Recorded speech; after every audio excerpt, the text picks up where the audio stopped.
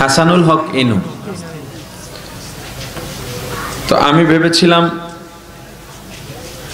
যে বাংলাদেশে সব কিছুর বিরোধিতা হলেও ওয়াজ মাহফিলের বিরোধিতা হবে না।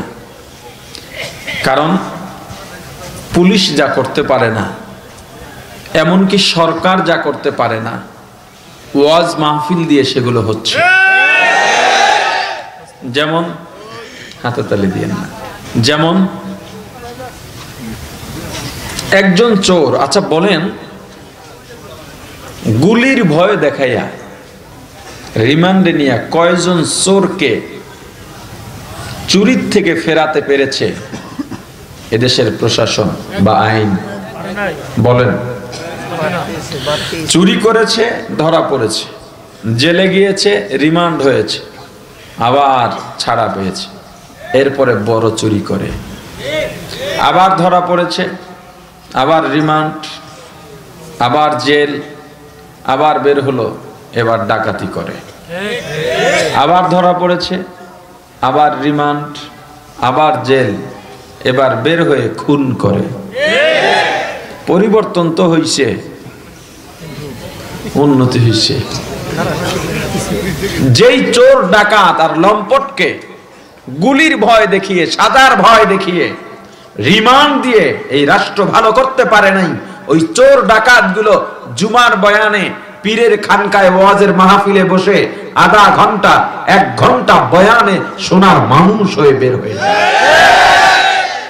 রিমান্ড লাগে না, জেল লাগে না, গুলির ভয় লাগে না।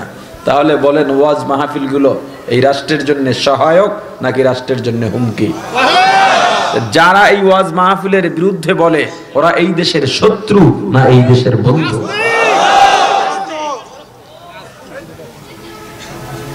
ইনু সাহেবকে আমি শুধু পরামর্শ দেব। প্রধানমন্ত্রী শেখ হাসিনার দয়ায় আপনি আজকে পার্লামেন্টের সদস্য।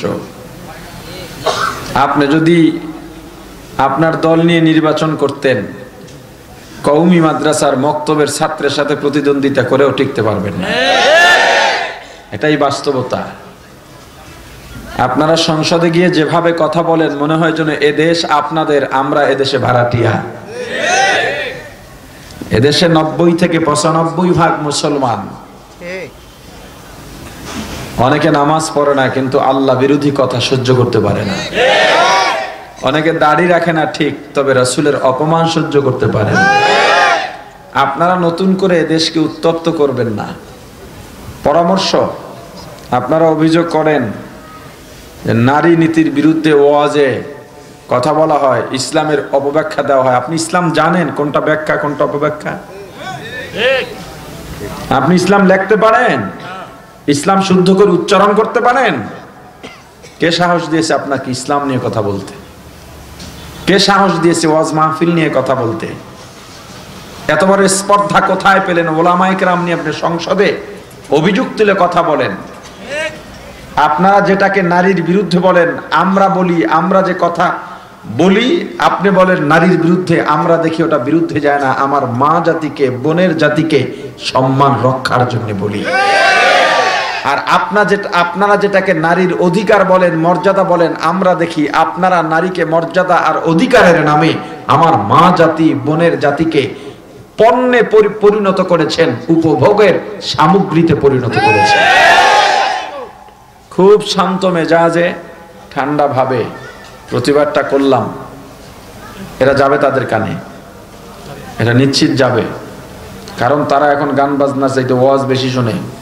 পাগল হয়ে গেছে তো? আওয়ামী লীগ, বিএনপি তাদের নিজেদের কর্মীদেরকে বিরিয়ানির প্যাকেট দিয়েও এত লোক জমা করতে পারে না যত লোক ওয়াজ মাহফিলে হয়।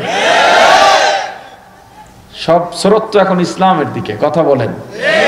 যারা ইসলাম পছন্দ করে না, ইসলামের স্রোত ওদের কাছে খুব ভালো লাগে। কথা বলে না। ভালো লাগবে? তো বিরোধিতা তো করবেই। বিরোধিতা তো করবেই।